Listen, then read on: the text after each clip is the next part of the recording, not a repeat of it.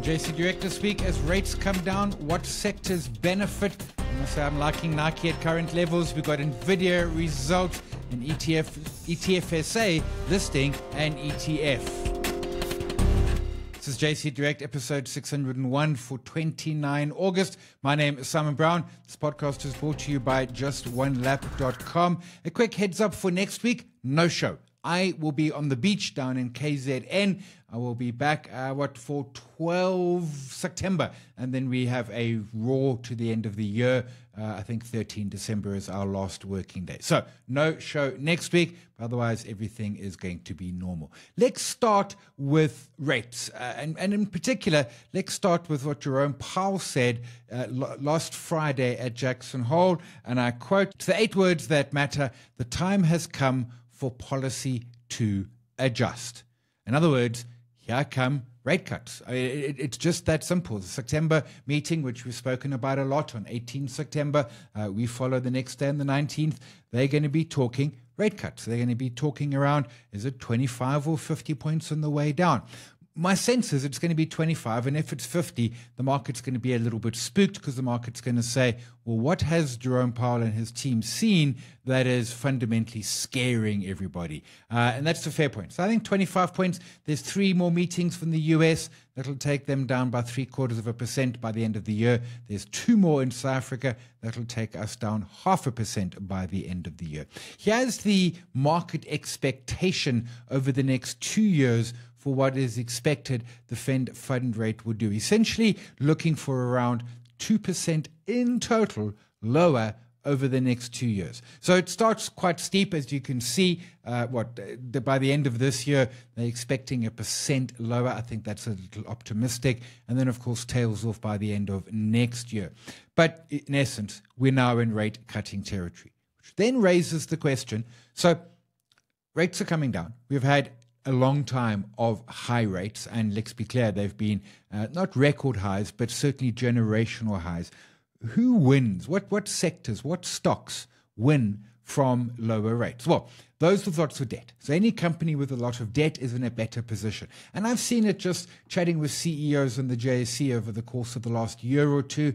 Uh, the higher debt has been hurting. It absolutely has been hurting because of the interest payment. So if you've got a lot of debt in the balance sheet, the higher rates help. Now, maybe the lot of debt in itself is a concern. Uh, consumer stocks. And yeah, I've been buying consumer stocks and talking about them all of this year. Mr. Price, the Foschini Group, ShopRite. Digging into the data, it does look like food retailers perhaps uh, are, are, the biggest initial winners. Then it comes to sort of clothing and, and, and the like. And then finally, we move on to the, the DIYs, the Cashbuilds, and those sort out there. But the market's kind of known that already, right? And been pricing it in. But I still think there's some upside there. And, and, I look at stocks like, you know, the Mr. Prices of the world, which are trading at 52 week highs. I think we're up some, memory serves, 40% this year plus dividend. Uh, certainly looking really, really good in that regard. Uh, so winners there, but also cars. Uh, Auto Trader had data out last week that used car sales were up 14% year on year, year over year rather. And that's a big number. I think we'll start seeing a pickup in, uh, in new cars as well. Again, they're going to be a little bit later. F- food and clothing, I think, is going to come in fairly quick into the process. And then down the line, we'll see the home improvement, we'll see the car sales. Uh, CMH, which I hold, we've also got Motus, we've got We Buy Cars, and uh, Zeda, uh, the uh, car company, not the agri company, of course. The other one is REITs, real estate investment trusts. And the reason here is because investors have been buying government treasuries, bonds, call them what you will, heck, money in the bank, whatever it was, and you were earning a good yield. You didn't need to go and take the risk of buying a, a, an equity or a REIT. You could simply go and buy a government bond, money in the bank, which is, depending on the bank and the government, pretty much risk free. But now those rates are down. I mean, the, the US 10 years coming down, uh, South African 5 and 10 year rates are all coming down. Nothing new around that. So, where do investors go? Well, they'll go to things like utilities and the like, but in South Africa, they're going to be going for REITs, for that quality there. Now, which ones? Storage, which I hold, uh, Spear, which is Western Cape focused, uh, Vukile. These are three that uh, Gary Boyson mentioned on my show on Monday morning. Certainly, I think we're going to see, we've seen an uplift already. And those stocks have done well since the beginning of the year already. In fact, since October of last year when they bottomed. But I think there's still some more upside there. I think we can still see some more buying. Now, what you'll notice from those list of stocks, very little, if any, office. Office is improving and has been improving for probably two years now. But office is still a horror. The vacancy rates are still, in many cases, around 20%. Uh, rental reversions are still negative. They're less negative than they were, but they are negative. So I think it's important that that, that office perhaps is still on the back burner. A lot of folks like Growthpoint, uh, certainly looking good, but a lot of Office and Growthpoint. What I don't like about Growthpoint, and I got no problem with it, but why don't I hold it is quite simply because it's just so giant. It's just such a giant. There's so much to it. It's almost like buying an ETF in the REIT space, in which case, buy an ETF. Uh, CS Prop is the one I hold. Uh, STX Pro is another from Satrix. Actually, I hold that one as well. So there's the ETFs, and a lot of folks are going to look at these and say they've run. They have. But remember, you're going to be getting about a 10% yield just on the dividends coming through. Economic activity will uplift them. And then, if we can see some folks rushing in to buy them, that might take some shine off the yield down the line, but you'll get capital appreciation as well. So, uh, will, consumer stocks, we understand that part of the component. Uh, companies with large amounts of debt, we understand that. And then REITs, the other sector that I think is going to be best positioned as we head into a, a interest rate cutting environment starting September.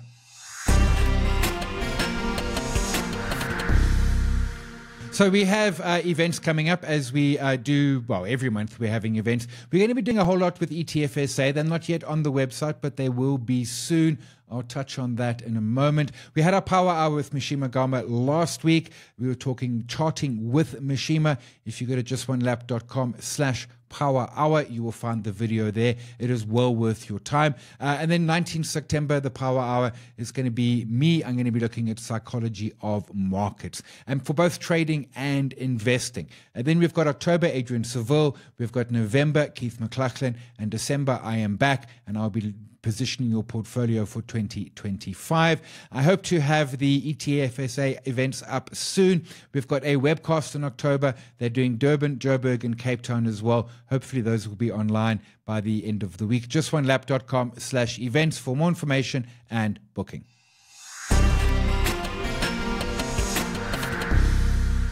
So let's stay with uh, ETFSA for a moment. They have uh, listed a actively managed ETF, Balanced Foundation ETF. Now, a lot happening there. I suppose the first part is let's say, well, why actively managed? Well, why actively managed? Because typically an ETF follows a index, and in this case, there isn't an index. So what they have to do is say, well, there's no index. So what do we do? Well, we then have to actively manage it. It is currently in IPO. I will get to what that means and how it's working in a moment. But it's a balanced foundation. It's that ETF that sits at the core of your portfolio, and then you take thematic. Uh, uh, systematic bets around it in terms of perhaps other ETFs, maybe Nasdaq, India, China, whatever the case may be, or individual stocks or you know resi whatever. It's going to hold 30% local equity 5% local property 25% local bonds cash 5% and then 35% foreign equity.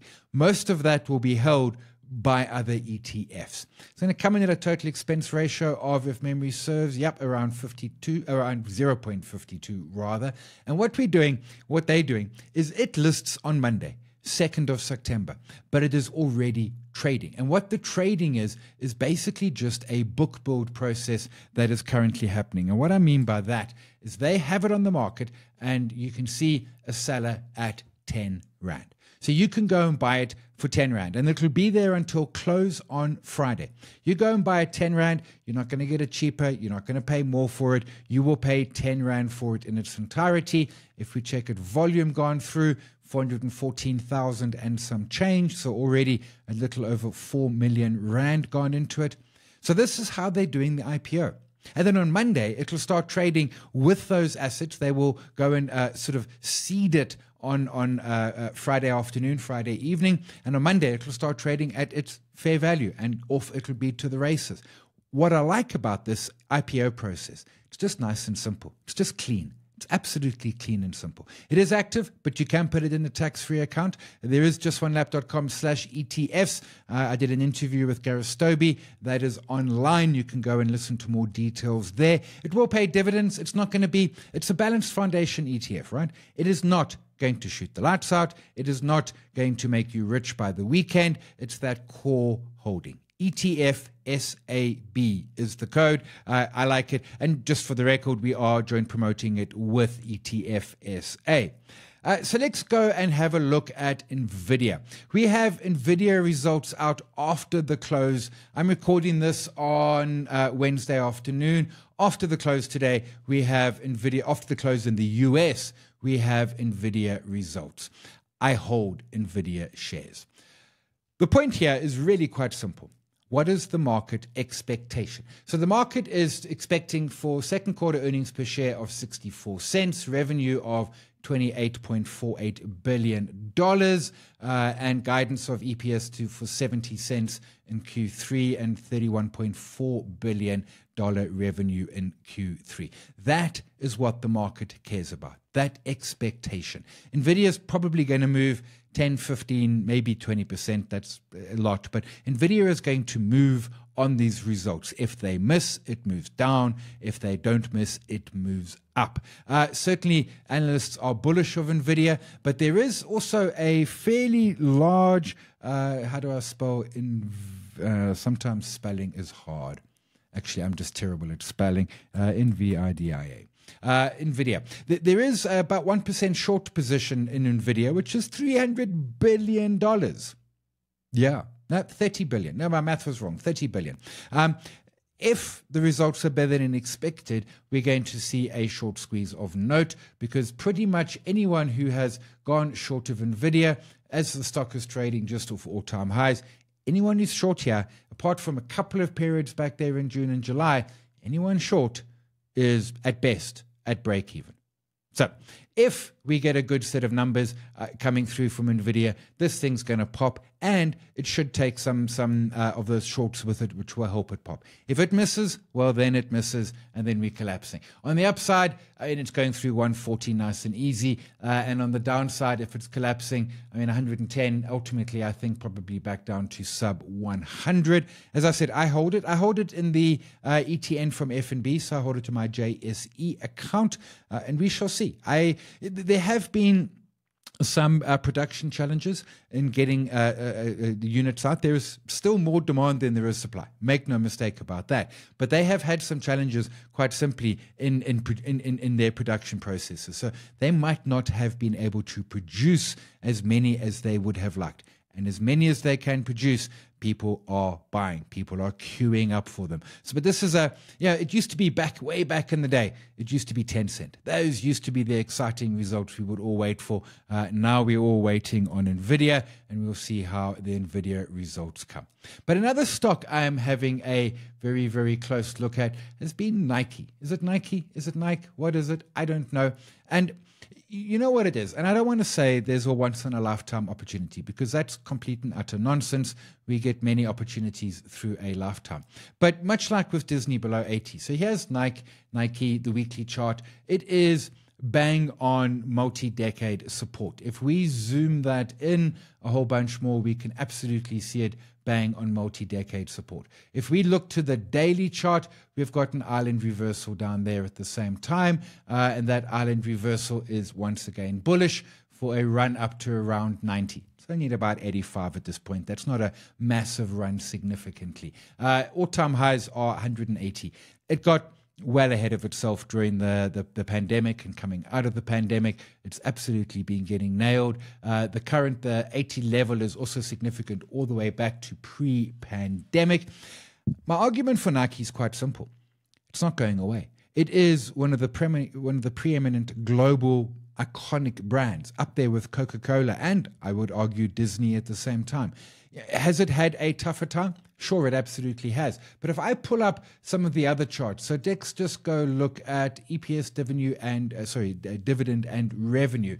Yeah, revenue and let's take that. Yeah, that's 10 years. That's plenty. Revenue hasn't been collapsing. Yeah, EPS has been sideways for a bit. Dividend has been ticking higher, uh, and revenue has been growing. If we look at uh, revenue and um, margins, margins have held. Margins, which is that little grey line there, margins have been holding. Your net, uh, uh, uh sorry, yeah, net income margins. We've just seen a company that got massively expensive. But now let's be clear it is not cheap, right? It is still on a 20 odd PE, but at times it's been on a 40 odd PE. I mean, can it fall lower? Yes. But I'm looking at this quite simply and saying, I'm buying Nike, as I said, one of the one of the most iconic brands in the world, uh, in an Olympic year, and I'm buying it at one of the cheapest levels that we have seen. There's your price earnings with uh, price to book. It is its average PE over the last uh, t- decade is 38. Its current PE, and let's look at the forward PE, is 22.9. Standard deviation one below the average is 21.9. You're buying it almost on a standard deviation below. And truthfully, where it used to trade, I mean, it's been back here 2017 and so. So it's just you know it's not a case of and Nike's had some some challenges, but it isn't like they have completely collapsed and that things have gone absolutely horror. Now, yeah, I'm buying some. I haven't yet bought them. I'll get them in the Shyft app, uh, and I will buy them this evening, Wednesday evening, or maybe Thursday, depending if I remember or not. But it's the similarish with uh, uh, uh, Disney. And I've been picking up some Disneys. Why? Because again, it's one of those absolute iconic brands. Now, they've had some challenges with their streaming. Uh, Disney Plus doing okay, uh, ESPN not so much. But I was buying it back here sort of late last year in the 80s on the view that, yowza, man, I can buy Disney on you know at eighty dollar. When last did we have Disney at eighty dollar? Let's remove the pandemic. I mean, we're pretty much going eight years ago.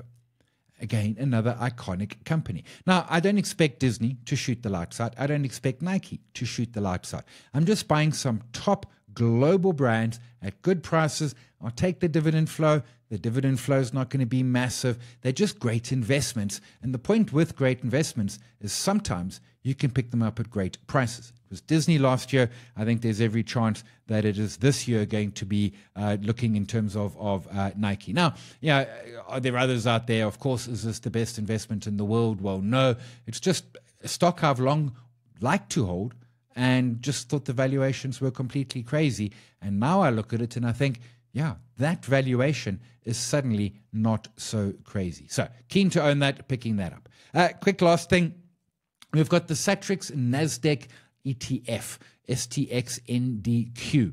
It has been a feeder fund. It is now going to become a standard fund. You would have got a letter from your broker if you hold it asking you to vote. The difference is feeder fund, they just go and buy a ETF and stick it in. Nice and simple. Then you get to bulk. They're now north of 5 billion assets under management. And what you now do is you're like, well, hang on a second. I just can go buy these shares ourselves. We've got enough uh, uh, uh, size. We can go and buy them individually. So it'll be the same shares, the same weightings. The only difference, the total expense ratio will be a little bit lower. So we win in that regard. If you've got the letter, you get to vote. I think you've got until the end of September to vote, uh, and the changes, if approved, will happen at the end of October. So just a heads up on that. A lot of folks were saying to me, "What the heck is happening?" I don't know why they've got this letter, and I don't know what it means. What it means is it'll be a slightly cheaper ETF for you going forward. So that is good news. Remember, next week, no show whatsoever. Uh, we will be back the week after, of course, but next week, no show. JSE is a registered trademark of the JSE Limited. JSE Direct is an independent broadcast and is not endorsed or affiliated with, nor has it been authorized or otherwise approved by JSE Limited. The views expressed in this program are solely those of the presenter and do not necessarily reflect the views of JSE Limited.